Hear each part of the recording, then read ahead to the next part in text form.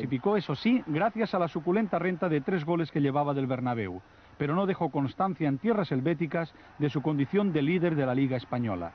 El alemán y exmadridista Uli Stelique, con este disparo raso conseguía el 1-0. Era el minuto 10 y el modesto Shamax Neusatel disponía de tiempo suficiente para intentar remontar la eliminatoria. Esta es la repetición del tanto de Stilique, la pesadilla de sus excompañeros anoche en Suiza. No obstante, la eliminatoria nunca estuvo en peligro para el conjunto español, ya que el segundo gol de los helvéticos llegó en el último minuto. La mejor oportunidad para el Real estuvo en las botas de Martín Vázquez a los 37 minutos, pero su disparo se estrelló en el poste. A los 12 minutos del segundo tiempo se retiró lesionado Stilique y el Madrid respiró tranquilo.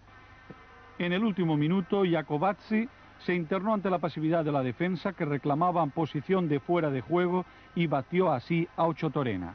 Era el 2 a 0 final y el Real Madrid una vez más que solucionó la eliminatoria europea.